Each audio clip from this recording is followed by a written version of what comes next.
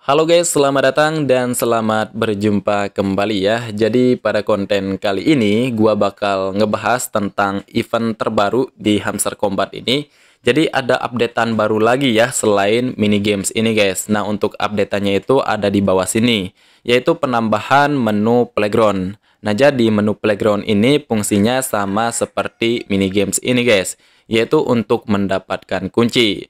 Jadi buat kalian yang kesulitan untuk mendapatkan kunci atau menyelesaikan mini games ini, nanti kalian bisa mendapatkan kuncinya itu melalui menu playground ini. Karena di dalam menu ini guys, ternyata di sini ada mini gamesnya juga. Oke, langsung aja kita masuk ya guys ya. Nah, ini dia fitur terbarunya. Di sini ada game bike ride 3D di Hamster Pump.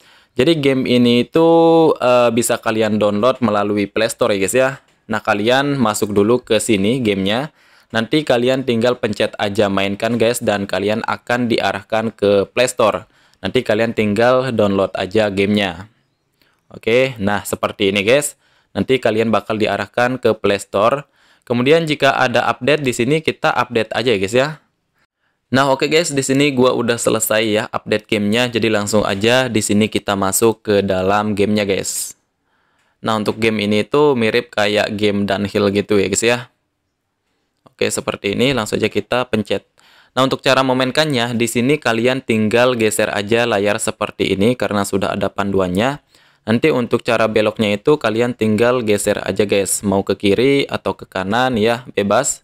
Di sini kalian tinggal geser layar aja. E, menurut gua untuk game ini tuh sih lumayan seru nih guys. Tapi kendalanya itu ada di akselerasinya ya. Entah kenapa kalau mau belok itu kayak berat gitu guys. Masih kaku banget ya game ini. Oke, seperti ini. Ini banyak banget player ya guys ya yang memainkan game ini seperti ini. Kalian juga bisa nabrak-nabrak nih player lain seperti ini guys. Oke. Oke, di sini finishnya udah kelihatan kita akan terbang di sini guys. Jadi kita harus cari target ya warna apa yang ingin wah dan di sini kita mendaratnya itu di warna biru guys. Kita dapat satu kali ya. Nah kemudian di sini kalian tinggal pilih aja mau uh, pakai kali dua atau kali berapa terserah kalian ya. Untuk koinnya itu nanti bakal dikali dua kalau kalian pilihnya itu dikali dua guys. Oke seperti ini Nah, di sini ada iklan ya. Jadi iklan ini sangat mengganggu di game ini. Entah kenapa gamenya kenapa masih ada iklan loh. Oke guys, nah di sini kita udah dapat koinnya ya. Jadi koin ini fungsinya nanti untuk nge-upgrade sepeda kalian guys. Ini di bawah kalian bisa beli sepeda ya seperti ini nanti. Nah, kalau kalian uh, dapat kado seperti ini, kalian tinggal buka-buka aja nih. Nah, di sini kan gua dapat yang level 1 ya untuk sepedanya. Jadi kita tinggal gabungin aja seperti ini, guys. Gabungin seperti ini, nanti kalian gabungin lagi ya. Oke, ini kan yang tertinggi itu gua punyanya yang level 3 gitu. Nah, sekarang kita bakal update atau upgrade menjadi level 4 ya, guys ya. Oke, di sini kita udah upgrade sepedanya, guys, menjadi level 4 ya. Nah, di sini kita dapat kado emas nih. Kita dapat yang level 2, guys. Nah, kemudian kalau kalian ingin upgrade lagi ya, di sini kalian tinggal beli aja sepeda yang ada di sini seperti ini. Nanti kalian tinggal upgrade, guys. Oke, seperti itu ya. Selanjutnya untuk cara mendapatkan uh, kunci di dalam game Hamster Combat, nanti kalian bisa masuk di event ini, guys. Event Hamster Combat ini ya. Di sini kan ada titik merah nih. Ya berarti di sini kita bisa mendapatkan uh, kodenya. Langsung aja kita masuk seperti ini.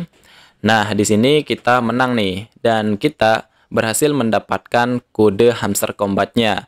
Jadi di sini kalian pencet copy ya guys ya. Kalian pencet copy seperti ini. Oke, jika udah pencet copy, nanti kalian balik lagi ke game hamster combatnya guys. Kalian balik. Nah, jika udah sampai sini ya, nanti kalian tinggal masukin aja kodenya di kolom kode ini guys. Oke, kalian masukin. Nanti kalian tekan seperti ini, kemudian kalian tempel. Nah, selanjutnya kalian tinggal klik tombol tukarkan ini, guys. Oke, di sini sukses ya keterangannya. Kita udah mendapatkan satu kunci di sini, guys. Jadi kuncinya itu di dalam satu game ini kalian hanya bisa dapat empat kunci, guys. Nah, kemudian ya di sini kita balik dulu. Kemudian Di sini ada keterangan lebih banyak game akan datang segera. Jadi besar kemungkinan ke depannya itu bakal banyak game yang akan dikeluarkan di Hamster Combat ini di menu playgroundnya. Ya gue juga sebetulnya kurang tahu pasti ya, tapi kalau kita lihat keterangannya itu seperti ini, ya berarti besar kemungkinan ke depannya bakal ada game baru lagi. Nah, sebetulnya di sini gue masih mempertanyakan nih, apa fungsi daripada kunci ini? karena developer Hamster Combat belum mengonfirmasi ya atau belum menjelaskan fungsi daripada kunci ini apa. Di sini gue masih bertanya-tanya, jadi buat kalian yang sudah mendapatkan info, tolong bantu gue untuk ngejawab pertanyaan gue ini. Fungsi kunci ini apa guys? Silahkan kalian komen ya. Oke, mungkin cukup segini dulu ya guys ya untuk video kita pada kali ini. Terima kasih sudah menonton video ini dan sampai jumpa di video selanjutnya.